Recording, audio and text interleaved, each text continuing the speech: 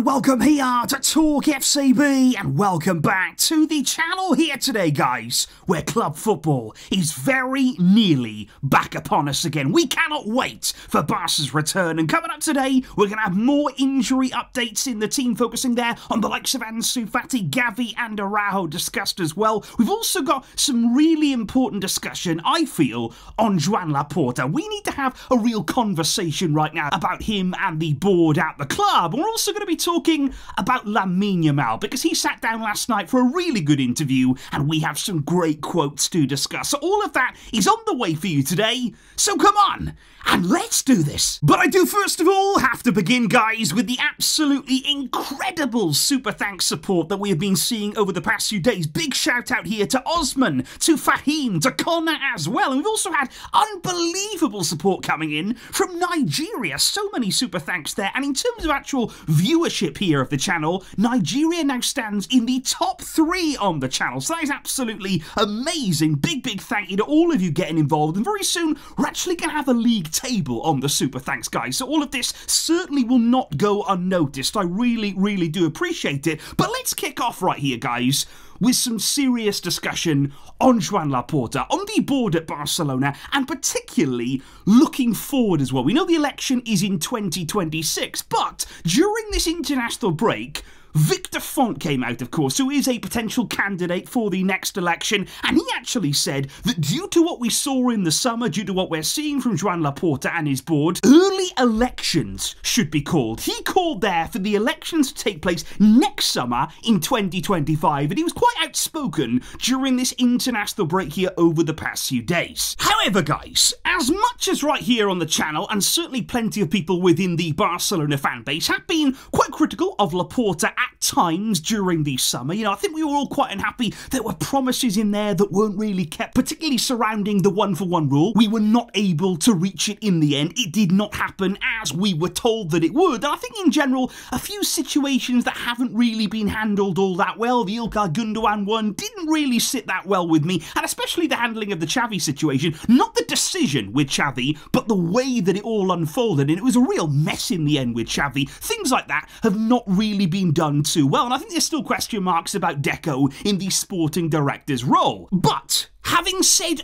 all of that, though, and I do accept here that criticism, it can happen. You know, at times we have to address things, at times we have to call things out for what they are. Not everything is good all of the time, but at the same time, not everything is bad all of the time. So I want to be very, very clear here and very fair when I say that yes, we can criticise, yes, we can point things out when things aren't going right or things are going wrong, but we also give credit where it is due. Because what we have seen now come out over the past 24 hours is La Liga announcing there that Barca were actually able to increase this salary limit over the summer there. We have gone from 204 million back in February to now that figure standing at 426 million. So that is a big increase there. It's still not really where we want to be, where we should be, because when you look at Real Madrid, they're at 754 million euros. So that there, it's not even that far away from double what Barca can spend on wages, which is not what we want, because that is why we're still aiming for the one for one rule. We've still got the Nike deal to come. We're still waiting for some money to come in from that failed Libero deal. We haven't got all of that in yet. And of course, remember that we're going to be returning to the Spotify cap now, and we will have big, big increases in revenue when we can get back to our stadium, and especially when we're back at full capacity. So, right now, you can see the vision. You can see that year upon year, it has been tough at times. You know, the progress maybe hasn't always been as quick as we wanted as fans, but we are getting there. We are making strides here to return to where we should be. And that is what I want to say about Laporta. As much as there are things that, you know, I don't agree with everything he does, I don't agree with everything that he says, but the one thing that I can really and truly say and believe is that he cares about this club. There is not a moment that goes by where I don't feel he actually has our best interests at heart. And like I say, he doesn't get everything right. You know, nobody does. But I do believe his heart's in the right place. I do believe that he has fought every single day since he arrived as a Barca president. He's had to make some tough calls. He's had to make some very big decisions. It hasn't always gone perfectly in terms of the handling of them, but I do believe he cares. And I do believe that slowly but surely here, Barca are getting back where they belong financially. We are turning things around because let's not forget, we were on the brink under Bartomeu. This club financially was in absolute ruin. So to come in here to address a lot of those problems, they're not all solved. There's still work to do. There's still work going on every single day. But I just think right now, somebody there like Victor Font calling for early elections, sort of putting pressure on things very early in the season here. Number one thing that I would say is We've got a talented squad of players. We've got a fantastic coach in Hansi Flick. What I want to do now, what all we want to do as fans, focus on the football. We can have a great season. We can have a very, very special campaign here.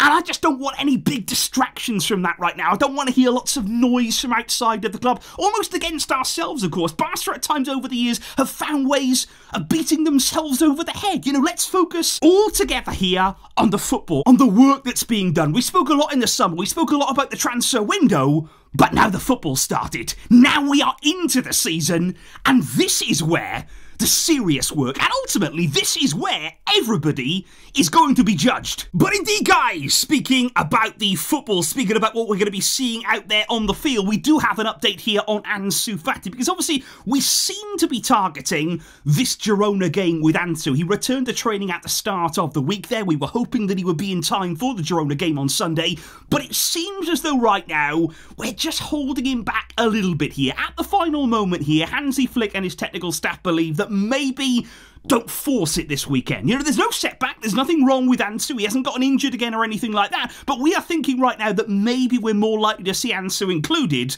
for the Monaco game there in the following midweek, because I think they wanted to have plenty more training sessions with the first team, with the rest of the group. Of course, like I say, he only came back properly a few days ago to training here. He hasn't had that many sessions with the squad. So I just think right now that Flick and his staff, they understand Ansu's past, of course, they fully understand what he's had to go through, and they're not going to rush him here. The season is a very, very long. We've got so many games to come. We're only at the very, very beginning of it all, and that is why this is the kind of philosophy that we're going to see right throughout the campaign here. We're going to see exactly the same approach with Gavi. No corners are going to be cut, no risks are going to be taken, no unnecessary risks here, because obviously everything has to be done in its own time. We're also going to see the same thing with Ronald Araujo. It was great to see him today, by the way, returning to the Ciutat Esportiva. That is where he will be continuing his recovery now, because even he, he's making real strides as well. His recovery is going very well, it's progressing well, which is absolutely fantastic to see. But yeah, we don't want to rush players back. We don't want to just force players in here for the sake of one game, for the sake of one week.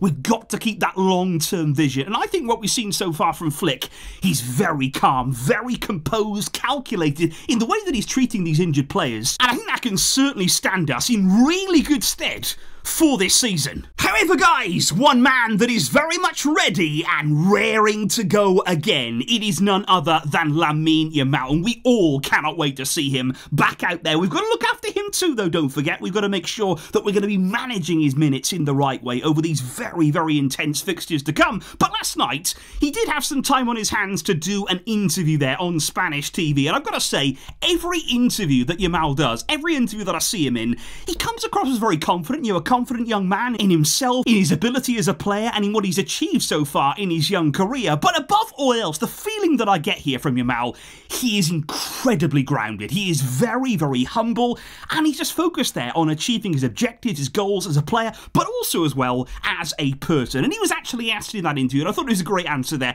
How do you stay so humble with everything you've achieved at such a young age, you know, the heights that you've already reached? How do you stay grounded in that way? And his answer, it's a real example, I think, to everybody all around the world. He said, I go to my mother's house because she tells me to put on my slippers, to close doors, to make my bed. He said she sets me straight. And he gave an example there. He said, I've always wanted to buy an octopus. He said, but when I was 13, my mother said, that's impossible. You know, we're not doing that. She said, when you turn 18, maybe. And he said, now, suddenly that has become maybe when you turn 21. So I think right now, Lamine's got such fantastic people around him there, really close family, very, very good to see, and he's certainly somebody who has real personality, but a really good nature about him as well. I think you can see that there as well, the humility in the comparisons with Lionel Messi, because no matter what, Yamal just can't really seem to avoid those Messi comparisons because of what he's doing at his age, because of the club, of course, that he's at. You're always going to get people talking about Messi and Yamal in the same sort of breath. And he was asked there about the photo with Messi. He said, actually, he gave me maybe some of his powers when we took that photo together. But he said, look, I do like being compared to the best player in history, Leo Messi. But he said, I also want to be me. And he said, reaching the level of Messi, it is impossible. And I think that's actually really wise, actually a good feeling to have there from Yamal, that he enjoys these comparisons, he understands them there. But what he's not doing is getting too caught up in them. He's not going to sleep every night thinking, I've got this pressure on my shoulders there. I've got this responsibility to be the new Messi, to do everything that he did, to achieve it in the way that he did, because every career path, it's different here. You know, different players, different moments, different times in football.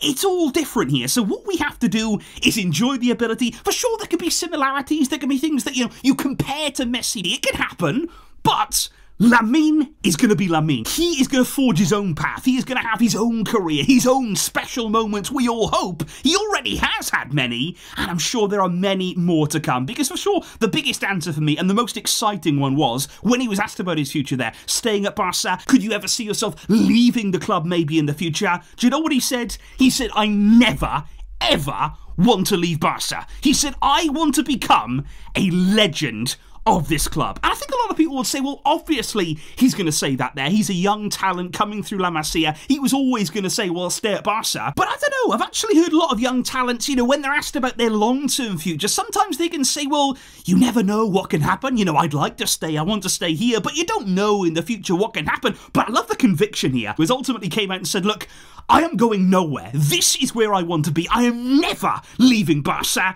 and it's my goal, my driving ambition to become a legend of this club. And look, he is on that path. He's got lots to do, of course. There's lots of time in his career to come and lots of incredible moments, like I say, that we hope that we have. And we are all very much behind him. He's such an exciting player. I cannot wait to see more of him. But yes, guys, as we've discussed during the break, we must handle his minutes. As much as he is fantastic, as much as he is so, so talented, we must make sure we also look after him, guys. So please do let me know in the comments down below here, what did you make of those words from Lamine Yamal? Such a great person there. Fantastic to have him as a big part of this club. Very, very proud to have him. What did you make there as well on the injury updates that we have right now? And as well, the thoughts on Joan Laporta and his board at Barcelona and what we are trying, what we are pushing to achieve every single year. So, guys, let me know those thoughts down below. I will see you tomorrow. That's when the big build up is coming to Girona versus Barca. I will see you all then. But until next time, as always, Visca, El Barca.